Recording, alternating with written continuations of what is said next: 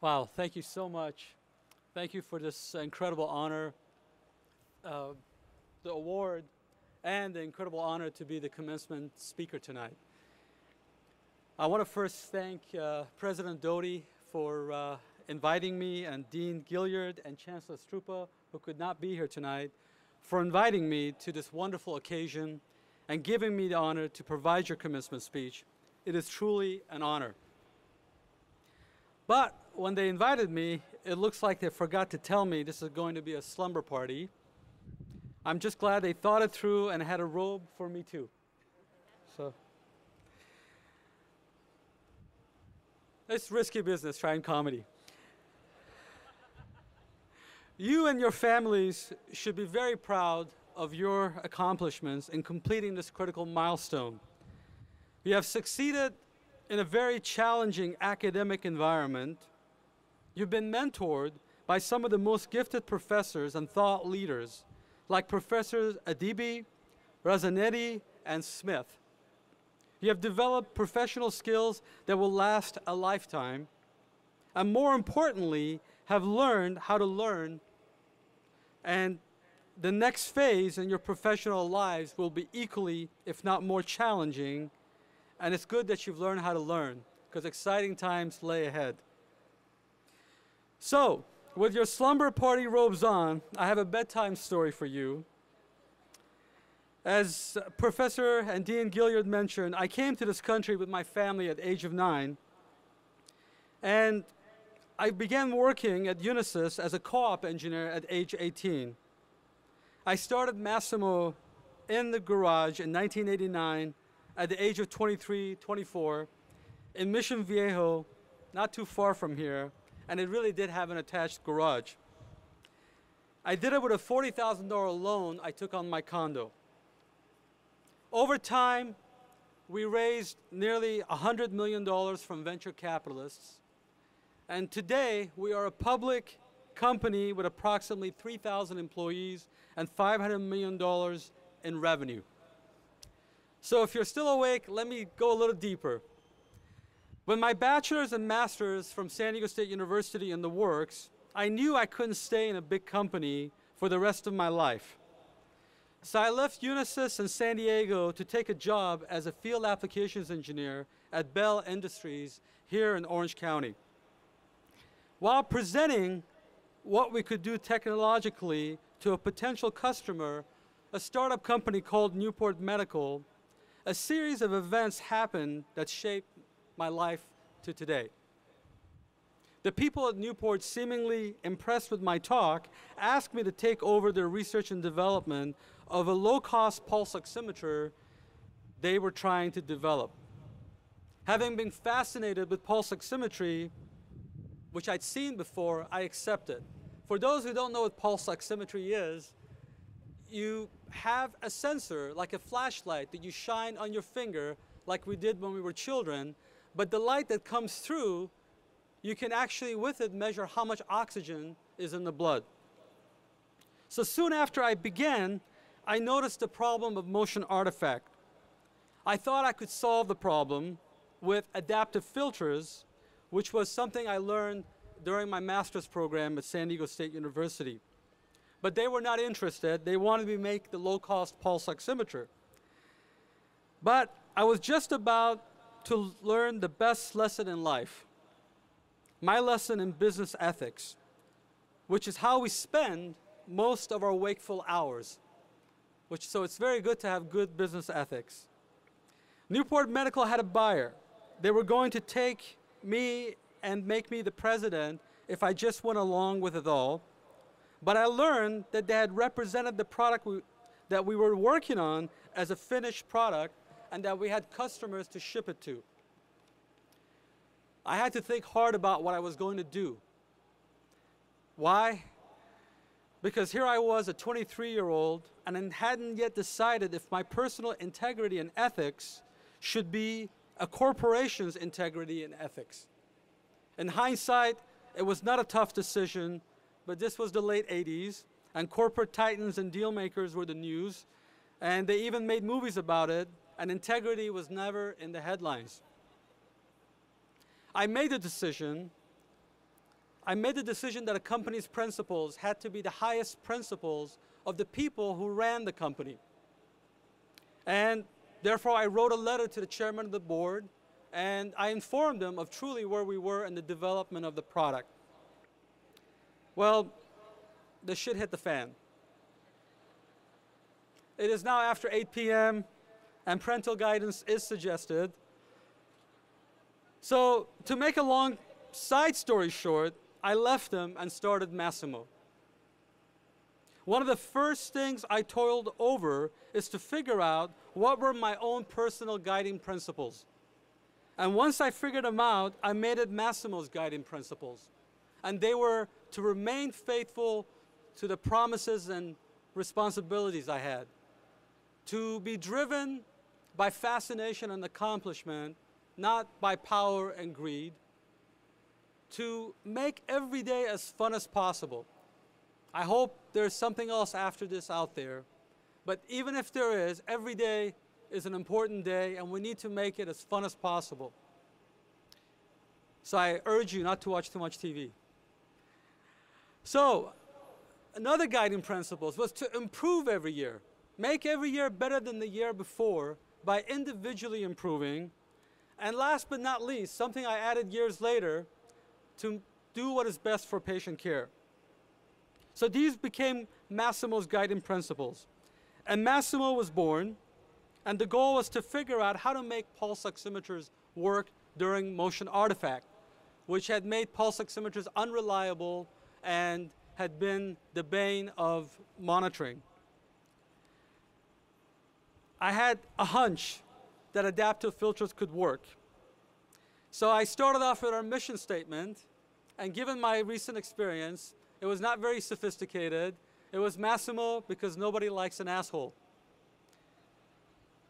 Parents, ladies and gentlemen, I promise the language will not get worse. Second and final mission statement, which is still with us today, is to make, to improve patient outcome and reduce cost of care by taking non-invasive monitoring to new sites and applications. And we invented the technology, signal extraction technology we call it. But as you've heard before, inventions are 99% perspiration, 1% inspiration. We literally worked seven days a week for seven years, and I remember taking two four-day weekends off during that seven-year period. We took a lot of risks. We left our jobs, lived on fumes at times, and did my best to avoid the venture capitalists controlling our company. And there's a reason why. It's a side joke, and I'll try to say it properly. The joke goes like this A venture capitalist decides to take a vacation and flies to New Zealand, where there's a lot of sheep. While he was resting under a tree, he couldn't help himself. He sees a shepherd walking the sheep, and when the shepherd comes by, he introduces himself and says, I bet I can figure out how many sheep you have. And the shepherd looked at him and said, Wow, that's quite amazing. Okay. He said, Well, if I do, I want one of your sheeps. And the shepherd said, Okay, we'll see if he can do it. So he looks and he says, 153 sheep. And the shepherd says, Wow, that is impressive. Yes, that's what I have. Go pick yourself out a sheep. So on the way back, after the venture capitalist had picked the sheep and brought it over, the shepherd said, Will you give me a chance to win my sheep back? And venture capitalist said, Well, that sounds fair. He says, How do you propose to do that? He said, Well, I think I can guess what you do for a living. And he said, Okay, that would be remarkable. We're on. So he said, Well, you clearly are very analytical because you could quickly decide how many sheep I had, but you also clearly don't understand my business because the sheep that you're holding is actually my dog. So to save the venture capitalists from themselves, I advise you, if you do, or if you're lucky enough to raise money for them, don't let them lead you astray. We also try to work with the industry. There was a 800 pound gorilla who was the market leader, had about 80, 90% market share, but could not solve this problem of motion artifact with pulse oximetry. So they were very interested in working with us. We almost did a deal with them. Unfortunately, the deal fell apart. And soon after, when they ran into me at a trade show, they said to me that we are going to crush you like a bug. Not very nice. Moats and castles walls went up. They decided to infringe our patents. We sued them. So what did they do? Not only they sued us back with 10 patents, they bought Newport Medical, who had been defunct for over 10 years, and said they owned all of my patents because I came up with the ideas while I was at Newport Medical. At this point, it sounds like a scary story, but hang on, it does get better. The world, well, most of the world wants you to succeed, but not everybody, especially those who feel that you're interfering with their plans for success. And some think success is a win lose, but success not only happens best when it's a win win, but long term, it's the only way to win.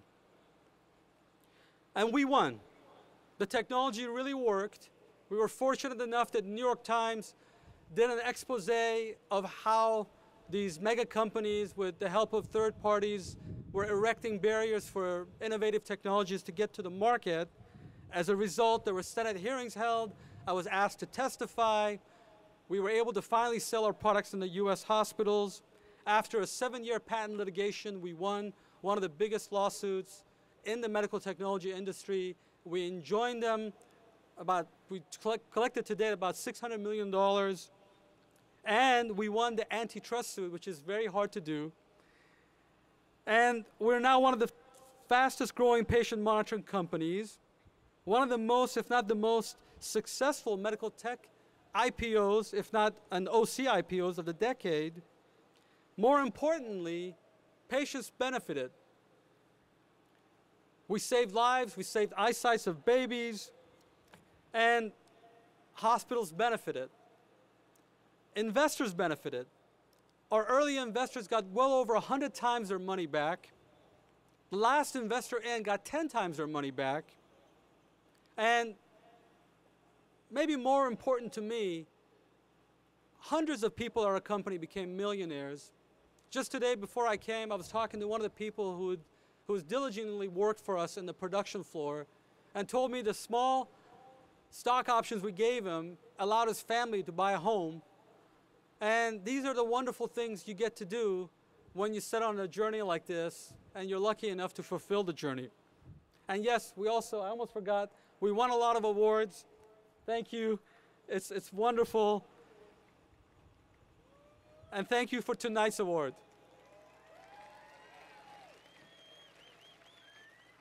Thank you. We did not rest, and we continue to innovate. So I guess this is the part where I attempt to summarize what I've learned from my experience that you as graduates can take with you for succeeding in the world of business. Well, first of all, find what you love to do and do a lot of it. I, I stumbled on my high school, I guess senior year yearbook, and I can't believe I wrote that under my statement. And I don't know where I got it from, but it says the only time success comes before work is in the dictionary. And it is true. Your business ethics should be the organization's business ethics. Keep it simple. People want to complicate things, but you have to just make good products and give better service to customers than they expected. It really is that simple if you've got a chance to hire people, hire people that are better than you. I was gifted to have amazing people that I brought around me, and each one of them were better than me in the area that they were pursuing in our company. Create simple and strong guiding principles. During those what may look like tough decisions, you go back to them and they make the decisions seem simple. Look for business models that can grow with you. Make sure you have lasting differentiators and protect your intellectual property.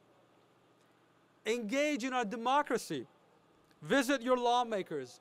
Voice your opinions and support the one that you believe in. Be persistent. If you have a good business model and what you plan to do will improve society, don't give up. You will make it. I guess I have also a don't. If you have to start a company and you want to contact the market leader, don't. Contact the second, third, fourth company, not the market leader. If you are still awake, I will now close with some thoughts. Thank you. Success should be defined in terms of happiness, not how much money you have, not the toys you have. Happiness comes from living within your means, choosing a productive life, and living that life with integrity and outward kindness.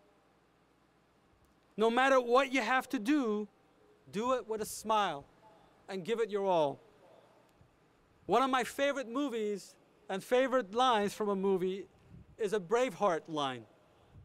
All men must die, but some men live.